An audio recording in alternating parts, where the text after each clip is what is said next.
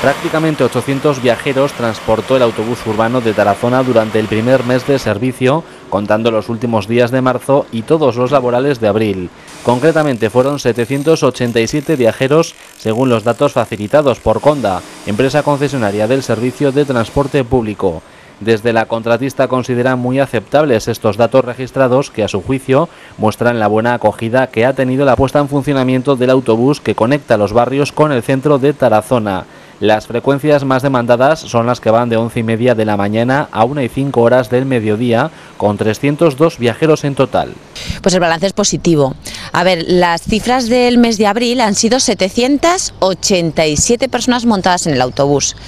Pues eh, valorar si es muchas o si son pocas, pues bueno, la verdad es que no nos corresponde a nosotros. La verdad es que nosotros como ayuntamiento lo que vemos son que 787 personas no han necesitado de otras personas para eh, desplazarse de sus barrios al centro. Por los turnos, sí, se ven en las estadísticas, se ve claro qué horarios son los que más demanda tienen por los ciudadanos.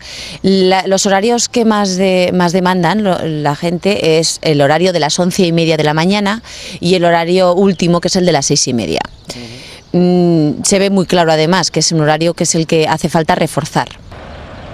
Muchas de las personas que utilizan el transporte, especialmente mayores, muestran interés y hacen sugerencias para ampliar las paradas y modificar algunos horarios. Así habrá que aumentar los servicios de la mañana y establecer nuevas paradas en lugares como Tanatorios, el barrio de la Inmaculada o el entorno de la Plana del Rosel. A ver, desde los ciudadanos y desde las asociaciones de barrios ha habido muchas demandas, sobre todo sugerencias de, mejora del servicio y pues más paradas, más paradas. La verdad es que el ayuntamiento lo que quería es poner el, servicio en funcionamiento de la mejor manera posible, pero sabíamos que había que deficiencias que tendríamos que ir mejorando conforme el funcionamiento del servicio. Y así se ha dado. Nos han demandado paradas que vamos a tener en cuenta, nos han demandado eh, refuerzos en, en los horarios de mañana, quizá el horario de por la tarde, el primero, no, haría falta, vamos a tener que, que tomar pues, algunas medidas de reforma en los horarios y en el servicio de autobuses. Pese a todo ello, la puesta en marcha del autobús está beneficiando a muchas personas que ya no dependen de familiares para desplazarse al centro de Tarazona. Muy bien.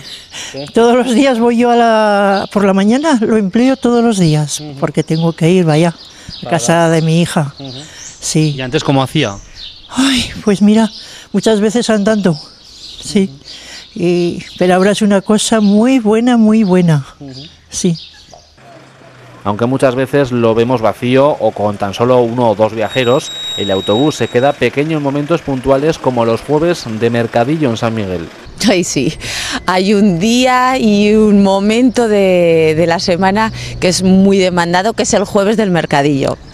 La verdad es que ese día da gusto ver el autobús. Hemos hecho overbooking, overbooking, muy bien. La verdad es que ese día pues se ha llenado, eh, han tenido que hacer hasta refuerzos de autobús y, vamos, que hemos llegado hasta montar mm, e, el tope máximo y diciendo a algunos que se esperen y hacer un segundo viaje. Sí.